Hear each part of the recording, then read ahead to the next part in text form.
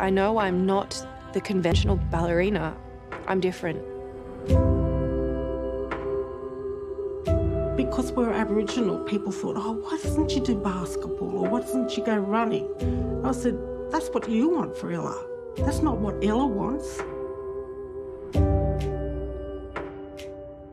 I often feel like I'm dancing between two worlds and struggling to find where I fit in.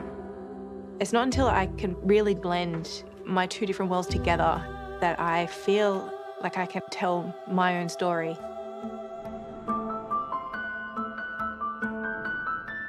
For the first time in its 50 year history, the Australian Ballet is welcoming aboard an Indigenous dancer. After doing four years of contemporary work, is it possible? You know, will my feet cope? Will my body cope? Mentally, will I cope? As much as I try to fit in and I try to look like the other girls, it's hard to be something you're not. To me, dance is purpose.